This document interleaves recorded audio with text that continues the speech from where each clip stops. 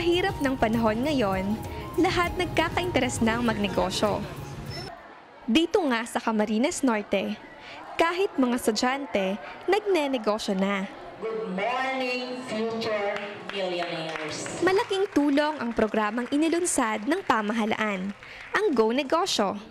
Katuwang ang Department of Education, Department of Trade and Industry, at iba't ibang pribado at pampublikong sangay.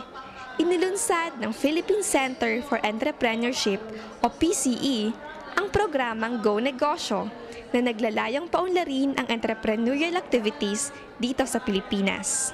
Sir, gaano po kahalaga dito sa Pilipinas na magkaroon ng maraming entrepreneurs?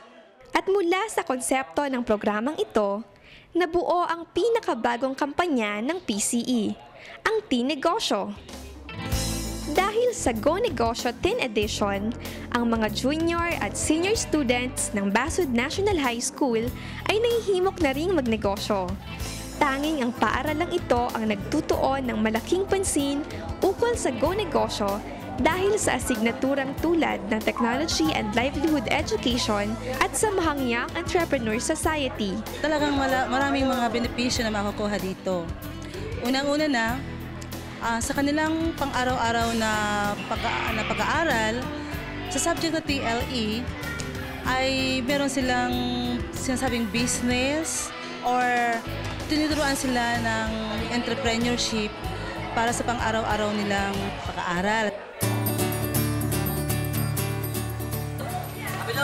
At katuwang ang Kaguruan Multipurpose Cooperative, isang kooperatiba na nabuo sa pamamagitan ng mga samahan ng mga guro, simula nang maitayo ang paaralan, maging ang mga magulang, estudyante ay pwede ring makaambag upang magkaroon din sila ng pagkakataon na mapalago ang kanilang puhunan.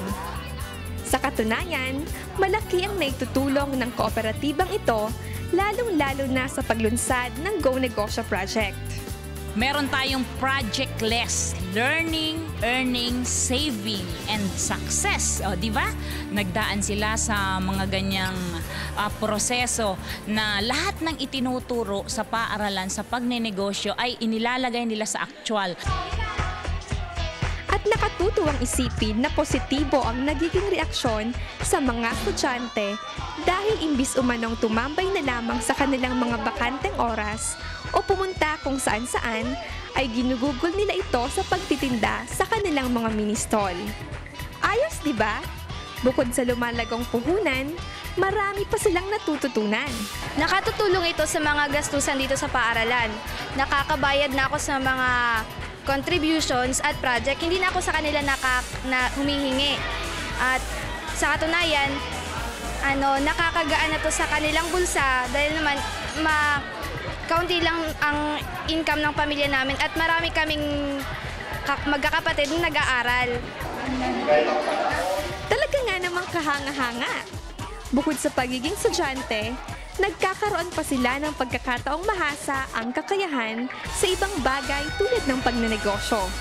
Sa Go Negosyo, maliit na puhunan tungo sa malaking kita at kaalaman. Kaya naman sa inyo, saludo kami!